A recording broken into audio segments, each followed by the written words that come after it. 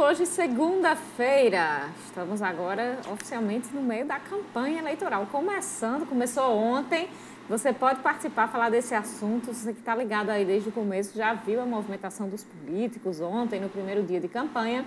Nesse bloco, daqui a pouquinho, a gente vê a agenda dos candidatos. Pode participar no Twitter. Temos aí o endereço do Twitter, Facebook e no Instagram. Ou então você pode botar lá na busca. Você coloca na busca da sua rede social preferida, Cenário Político TCM, não é difícil de achar. Também o WhatsApp 8802-8979, manda sua mensagem para a gente. Hoje nós estamos conversando sobre o orçamento do município de Mossoró para o exercício de 2021, próximo ano. O projeto do Executivo está tramitando lá na Câmara Municipal e o secretário municipal de Planejamento, Aldo Fernandes, é quem está aqui conversando com a gente. Carol, agora a gente traz a agenda dos candidatos para amanhã, terça-feira, aqui em Mossoró. A, gente já confere aí na Dantas, tela. Iniciando aí com a candidata Isolda Dantas do PT. Sete horas da manhã, visita ao mercado do Bom Jardim.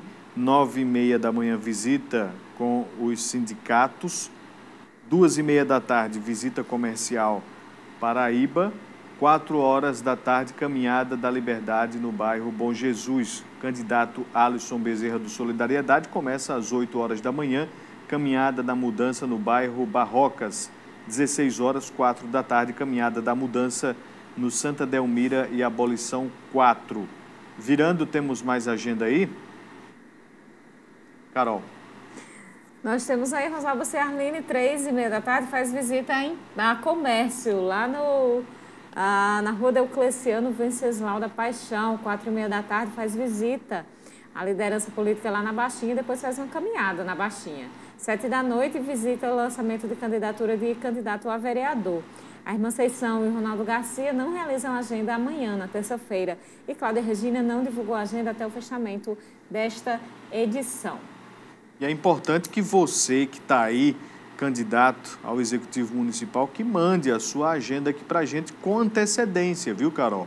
Porque a gente precisa planejar tudo bem certinho, colocar na tela aí. Então, os coordenadores de campanha, o pessoal que é responsável aí pelas mídias, manda para a gente, para a gente divulgar aí e os seus eleitores poderem acompanhar onde está aí o seu candidato. Pois é, e por falar em, em eleitores, muita aglomeração em muitas cidades do Rio Grande do Norte nesse primeiro dia de movimentação eleitoral. Muita gente aglomerada. Tinha carnaval fora de época acontecendo ontem aqui. Eu vi é, é vídeos pelo menos de três cidades, viu, Vonuvo? Inclusive, se quiser dar uma olhadinha lá no blog carolribeiro.com.br, também no nosso Instagram, tem lá o vídeo de grossos muita movimentação. Tem, teve Encanto, Rio Grande do Norte, Tibau também. E aí o TRE hoje encaminhou, enviou uma nota ah, de esclarecimento sobre essa, essa movimentação. É, falou que a respeito dessas imagens e registros de aglomeração, o TRE esclarece que Conforme reconhece o STF, poderes executivo estadual e municipal têm autonomia e dever de definir e principalmente fiscalizar o cumprimento das regras sanitárias. A Justiça Eleitoral está dando sua contribuição a título de recomendação ao apresentar à sociedade plano de segurança sanitária para as eleições 2020, cujo objetivo é definir medidas de proteção à saúde pública a serem implementadas durante a campanha eleitoral e as eleições municipais de novembro, no contexto da Covid. No último sábado, véspera da largada da campanha eleitoral, o presidente do TSE, Luiz Roberto Barroso, fez pronunciamento em rede nacional em que reforçou as recomendações da Justiça Eleitoral para o período da campanha. A nota diz ainda que, apesar de o dever de fiscalizar as infrações de biossegurança nas regras atualmente em vigor não ser da Justiça Eleitoral, o TRE reforça recomendações mencionadas e expressa preocupação e profunda consternação com as imagens divulgadas orientando candidatos e partidos políticos para que se adequem às normas sanitárias e solicitando ao Poder Executivo que tome as medidas cabíveis de sua competência no que se refere à fiscalização e cumprimento de tais normas. Esse assunto também, Vanudo, foi tema da coletiva de hoje com o secretário estadual de Saúde Pública, Cipriano Maia, aquela, aquela coletiva que vem sendo dada desde março ali, em virtude da Covid-19. Ele falou sobre essas recomendações e é, citou uma série de recomendações para essa pandemia. Ele falou da, da, das, das, recomendações de, de que as aglomerações, comícios, passeatas só devem acontecer acompanhando o, a liberação de eventos num decreto estadual, ou seja, não estão autorizadas, e outras séries de recomendações, mas não citou questão fiscalização. Vamos tentar saber dele, ver o que é que a gente consegue é, tirar disso tudo ah, sobre a fiscalização por parte do governo do estado. Ele citou da obrigação dos municípios fiscalizarem, mas é preciso o apoio do governo do estado também. Pois é, inclusive existe uma recomendação do Ministério Público Eleitoral, o vice-procurador-geral eleitoral, Renato Bril de Góes, ele orientou procuradores regionais eleitorais a e procuradores gerais de justiça de todo o país para que eles possam fazer recomendações a partidos políticos e candidatos para que no período de campanha das eleições observem e cumprem as medidas necessárias. Lembrando que a infração de, de, de eh, propagação de doença contagiosa é crime no artigo 268 do Código Penal e prevê detenção de multa, detenção de um ano, além de multa. Então, fiquemos atentos aí. Voltando agora ao nosso bate-papo com o secretário municipal de Planejamento, Aldo Fernandes, está ligado, conectado com a gente. Secretário, qual é o ponto mais importante, é, na opinião do senhor, é, que vem sendo trabalhado ah, pela gestão municipal e pelo senhor como secretário de Planejamento, que não deve falhar no ano de 2021, que é fundamental, preponderante? Carol, como eu bem levantei aqui, as peças orçamentárias, as peças normativas, ela vem numa constante, é, num constante crescimento e modernização. Então, eu posso é, eleger exatamente a modernização fiscal, buscando a sua sustentabilidade fiscal. Haja vista que estamos entrando numa nova era. O ente público, ele agora busca uma nova era, não é, é, é enraizado pelo governo federal. Estamos aí às portas de uma reforma tributária, estamos aí às portas de, de se instituir o Pacto Federativo, onde isso, na, é, no frigir dos ovos, os municípios têm que, estarem, or, têm que estarem organizados exatamente para ter a maturidade fiscal e enfrentar aí novos desafios. Eu posso dizer aqui com certeza que Mossoró ao longo desses três últimos anos, vem construindo essa sua modernização fiscal, sua, buscando a modernização de sua gestão através da sua sustentabilidade fiscal. E aí, é, é, podemos citar como efeitos práticos né, a infraestrutura que o município, tro, é, é que o município vem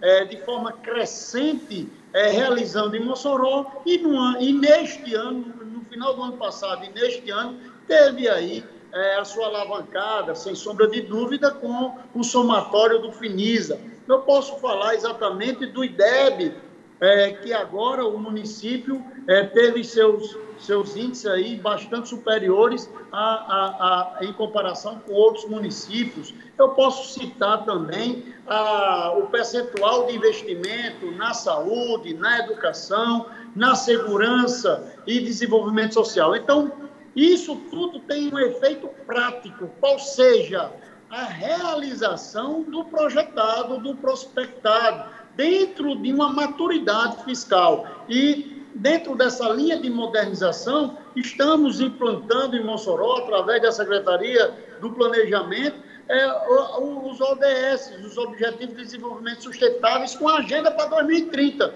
Então, tudo isso busca a efetivação dessas discussões que estamos, que, é, que estamos sempre levantando, chamando a sociedade para debater, né, indo ao encontro do, do, dos vereadores e das vereadoras para, para conversar, para apresentar, até porque lá é a casa legítima do povo para é, é, é, surgir novas ideias, discutir o que já está posto e trazendo novos, é, é, novos exemplos, novos conceitos né, e novas construções. E dentro dessa sistemática, nós percebemos aí, é, estamos constantemente comparando resultados. Comparamos 2017, comparamos 2018 com 2017, comparamos 2019 com 2018. Estamos comparando 2020 com 2019, dentro dessa projeção e, e, e prospecção. Então, eu posso dizer, é, sem, sem, sem, sem erro,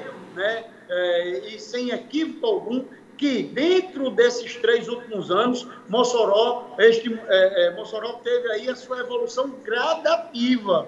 Em primeiro lugar, a coragem, exatamente, é, de instituirmos o efetivamente arrecadado, ou seja, se projeta para o próximo ano que foi efetivamente arrecadado em, no último ano do vigente, né, dentro dessa concepção. Em segundo lugar, discutir essas prioridades dentro das nossas urgências né? e dentro dos serviços básicos que jamais poderão, é, é, jamais poderão estar suspensos. Dentro dessa linha, modernizar. Dentro dessa linha, buscar ainda mais novos caminhos, é, que é, é o que nós estamos fazendo nós estamos fazendo com a, com a implantação dos ODS, que é a nossa agenda para 2030, projetando aí 10 anos além, projetando aí é, dentro dessa concepção discutida, construída em parceria a quatro mãos,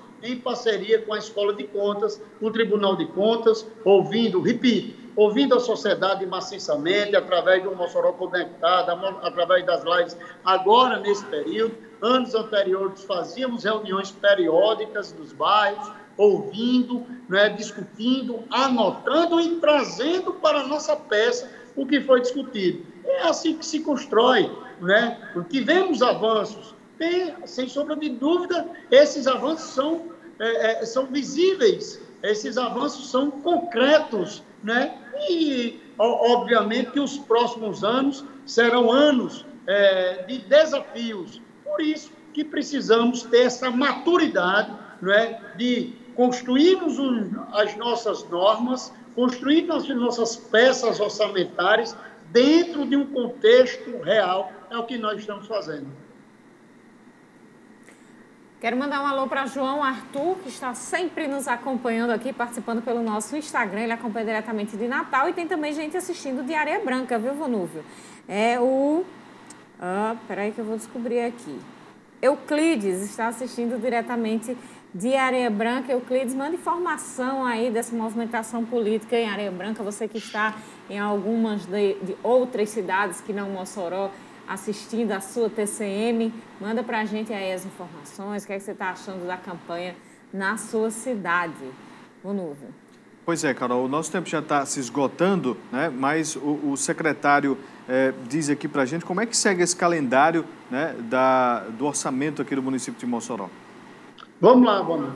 É, a peça agora, o projeto de lei está na Câmara Municipal. Né? E aqui reitero a minha atenção né? e o meu respeito e admiração por cada vereadora, por cada vereador. Meu abraço através da presidente Isabel. Lá vão ser discutidas as nossas é, a, a, nossa proposta, não é? Sem sombra de dúvida, é momento de discussão, de debate, de apresentação de emendas. Eles terão um prazo aí que foi alterado, foi estendido, não é? Eles terão um prazo aí para apresentar emendas, depois há a votação final e o processo segue para o, para é, o Poder Executivo não é? é analisar ali as emendas, promulgando, não é? será é, enviado para publicação. Secretário Aldo Fernandes, secretário municipal de Planejamento, muito obrigada por conversar com a gente, explicar a lei orçamentária anual aqui no cenário político de hoje.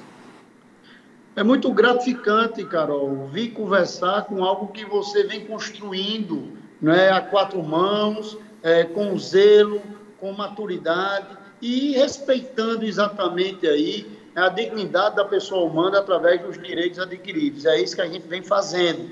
Né? Espero aqui voltar outras vezes para conversar algo a mais, que, sem sombra de dúvida, será aí é, os Objetivos de Desenvolvimento Sustentáveis, será aí a sustentabilidade fiscal, vamos discutir ainda mais o Pacto Federativo, enfim, uma série de outras coisas. Fica aqui o nosso abraço e a nossa disponibilidade a todos vocês.